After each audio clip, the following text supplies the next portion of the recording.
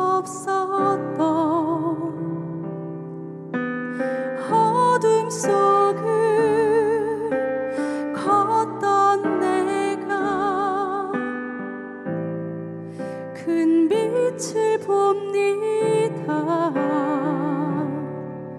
단단했던 마음 차가웠던 마음